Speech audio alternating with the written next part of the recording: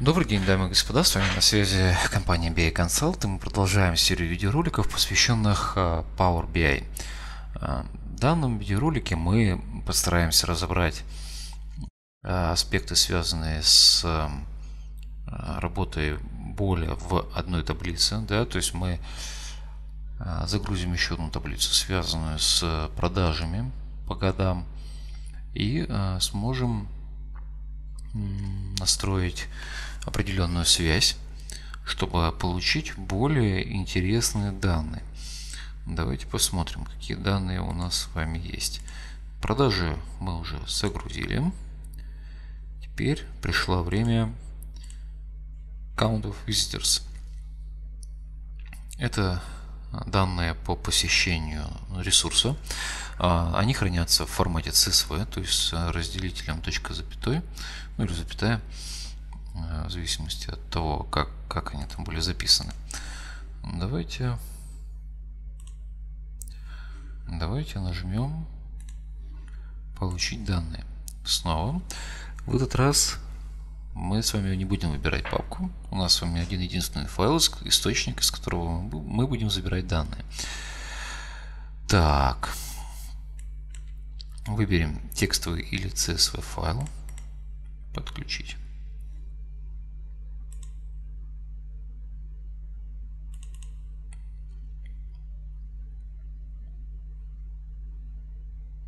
Отлично данные уже летят. Так, вот, все, получили данные. Ну, частичку он нам выводит. На самом деле у нас с вами есть еще один файл. Давайте на него посмотрим. Год, неделя, компания. Да, нам по идее не нужна, но может быть она нам пригодится для связи. Так, стоимость кликов еще. А, из этого файла мы сможем узнать, а, какое а, ну, количество денег было затрачено на рекламную кампанию того или иного ресурса. Например, у нас есть там Яндекс, есть другие платформы, и у каждого есть стоимость клика. Вот, и эту стоимость клика надо посчитать. Вот видите, здесь тоже есть год, неделя, компания, и при этом здесь нет даты, поэтому, пожалуй, неделю компанию мы оставим, потому что она нам пригодится, пока загрузим как есть все же. А, как видите, очень полезным бывает а, сделать некий обзор данных, то есть составить некое представление о тех данных, которые вы загружаете, для того, чтобы избежать каких-то таких ошибок, чтобы данные, которые, которые вы будете использовать, они не были как-то обезличены да, в модели. Если неправильно связать их, если не будет достаточно ну, связей с, со всей моделью, которая уже существует, могут быть неожиданные результаты при выборке тех или иных измерений. К примеру, мы можем выбрать, например, там год какой-то и, например, источник. Да, и при этом получить неадекватную стоимость кликов. Почему? Потому что мы выберем временной интервал и источник. И при этом у нас, а, поскольку нету по временному интервалу связи, то он просто суммирует по этому источнику все, всю информацию. Да, и по каждому источнику эта информация будет дублироваться. Это неправильно. Поэтому мы а, должны привязать время обязательно. Откроем теперь визуализацию нашей модели. Теперь это уже более интересная информация для нас. Почему? Потому что у нас теперь есть две таблицы, и эти таблицы должны быть связаны между собой. Зачем? Сейчас я постараюсь объяснить. У нас есть ресурс, у нас есть количество посетителей, количество корзин, сумма корзин. Э, давайте попробуем теперь э, посчитать, э, какое количество то есть в одной таблице, вот, например, у нас есть визуализация, вот это. Давайте попробуем посчитать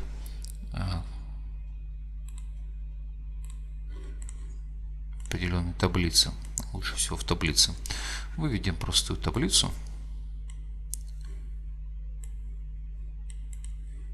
Так, выведем простую таблицу. И сюда запишем наши прежние э, измерения, такие же, как вот мы делали до этого. Значит, значение у нас будет год. Мы его не будем суммировать, мы его используем как, вот, э, как измерение и как расчетную меру. Так, теперь эм, добавим сюда месяц. Ну вот, можно так, можно так, ну давайте вот так. Месяц. И э, мы сюда добавим сумму продаж. Где там наш калькулятор? Вот он. Сумма продаж. Классно. Теперь у нас есть э, не только столбчатая диаграмма, которая нам показывает визуально наши данные. У нас есть теперь и а, таблица, которая удобным образом показывает нам наши а, данные. Вот как мы э, видим, тут есть определенные места, где явно больше было продано. Вот. И теперь я предлагаю посмотреть количество корзин. И смотрите, что сейчас получится. Опа! Почему так получилось, да? Казалось бы, везде 151 тысяча. Почему так происходит, что случилось, я сейчас постараюсь вам объяснить. Значит, э, здесь э, как раз мы возвращаемся к нашей модели. Дело в том, что у нас с вами нету связи между таблицами. По сути дела, этот результат, который мы видим здесь, это результат суммы всех возможных, вот всего, всего количества корзин, которые у нас есть в модели. Для того, чтобы нам э, более осмысленную информацию получить, нам надо как-то их связать. Э, можем посмотреть на данные более конкретно. Да? У нас здесь есть, э, значит, что это у нас, значит, count of visitors, то есть количество посетителей. Мы видим, что здесь есть order date, то есть дата конкретная да, по формату Power BI. Он в момент загрузки преобразовал этот формат. И мы сейчас посмотрим на похожую, вот она, дата в а, продаже да, по годам. Ну, в данный момент мы можем даже переименовать эту таблицу в продаже. Ну, по годам это все не нужно. Так. Отлично. Значит, э, мы видим, что здесь у нас есть order date. Да? Что у нас здесь еще есть? Год, месяц, так это все туда же. Ну и по сути дела здесь остальные данные не представляют для нас пока что интереса. Мы взяли определенный разрез для того, чтобы вам продемонстрировать. Ну, здесь более просто все. Значит, мы можем соединить наши данные по дате. Давайте смотреть, как мы это сделаем.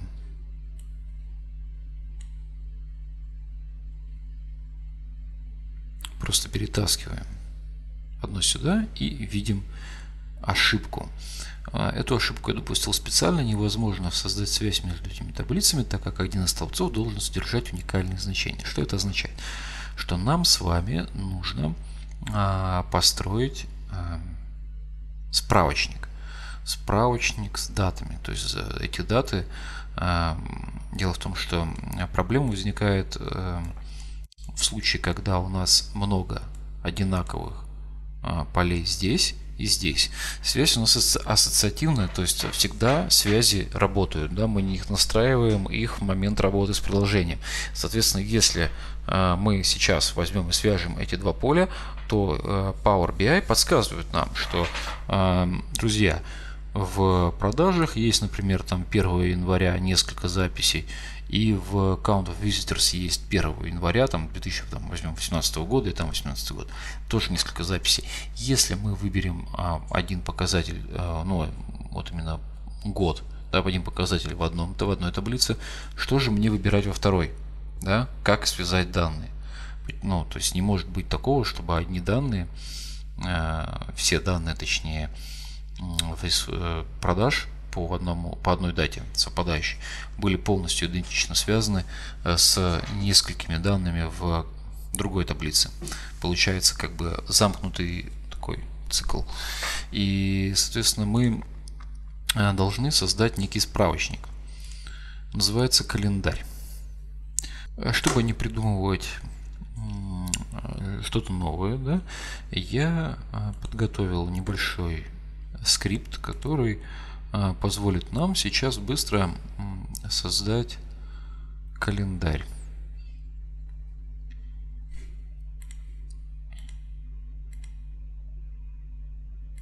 Так, сейчас, секунду.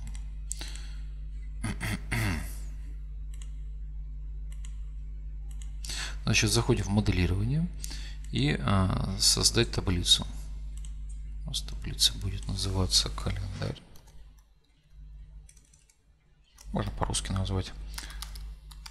Календарь. И расширим поле, чтобы нам было удобнее смотреть. И вставим сюда. Так, ну вот у меня здесь по-английски было названо до этого. Значит, что здесь происходит? Мы генерируем, генерируем автокалендарь, а, у которого дата, да? ну, переменную, мы объявляем переменную, дат, да? потом используем эту переменную, чтобы э, получить именно номер дня, имя месяца, номер месяца и год. И возвращаем это дело в виде э, строки, в которых будут такие-то столбцы. День, название месяца, номер месяца и год. Ну и, соответственно, сама дата. Нам нужно только написать э, название правильное.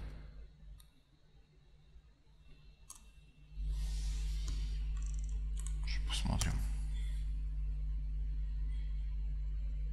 Так, дата. То есть все данные с датами он а, взял и а, сформировал во всей модели. Так. Окей.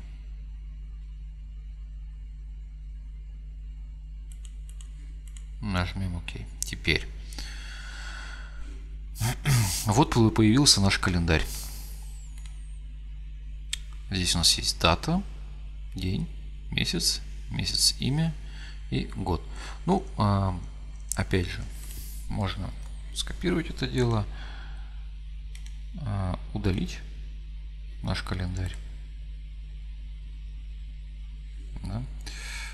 Опять создаем, а, нажимаем моделирование, создать таблицу, вставляем, немножко расширим поле. Так, и давайте снова пропишем календарь. А вместо английских можно написать э, по-русски. Принципе.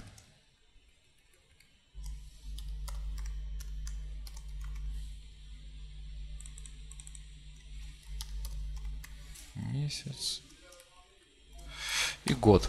Отлично. Теперь нажимаем Enter, он отрабатывает. То есть э, здесь функция календарь auto, то есть она берет все э, данные э, с пометкой дата, то есть вот он определил, что это данные именно даты, тип даты, и смотрит минимальную, максимальную дату, и между ними формирует все-все-все-все-все э, дни да, то есть он э, без пропусков делает. И мы как бы подцепляемся к этим данным и тут же говорим что мы хотим видеть отдельно день, отдельно имя месяца, месяц и номер года. Все. Мы сформировали эту таблицу, она у нас есть. Вот. Теперь мы можем видеть, например, что у нас есть данные 2003 э, по 2012 год. Все, супер.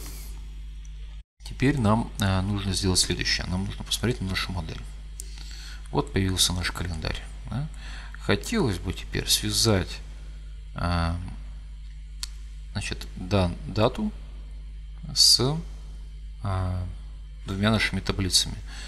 В принципе, это можно сделать как а, ну, таким вот образом, да.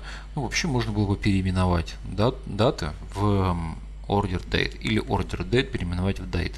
Ну, как бы так принципе, нам это все не обязательно делать. Мы можем сейчас поступить таким образом. Вот, появились две, две связи. Давайте посмотрим на одну из них. У нас здесь однонаправленная. Давайте поменяем на двунаправленную, мы могли а, в обе стороны считать. Да, то есть, чтобы связь работала в обе стороны. А, Power BI уже видит, что каждой а, записи из а, этой таблицы соответствует одна единственная запись из нашего календаря, и это действительно так, потому что мы сформировали его таким образом, что там только уникальные записи в поле date. Они сформировались автоматически. А, вот здесь у нас а, тоже то же самое, та же самая история. Единственное, что э, я тоже хочу поменять здесь на двунаправленную. Вообще это скажем так, хорошая практика, потому что, чтобы ничто не мешало нашим данным циркулировать э, в обоих направлениях. Если вы уверены, что вам понадобится только выборка отсюда сюда, например, да, то вы можете однонаправленную поставить, опять же Power BI стрелочками показывает вам направление, в котором вам можно будет выбирать данные. Но для того, чтобы не путаться, просто ставьте двунаправленные, вам пока что этого будет достаточно. Так, значит, перейдем в нашу визуализацию. Вот. И здесь мы уже можем видеть, да, что изм, изм, есть изменения. Э, посмотрите, обратите внимание. Теперь у нас не просто 151 тысяча на каждой, э, в каждой строчке, а теперь у нас э, есть около каждой позиции год-месяц отдельная запись по количеству корзин. Мы можем теперь просто проанализировать именно вот количество корзин, которые у нас есть. Вот. Для данного видео, я думаю, достаточно. Всем спасибо за внимание.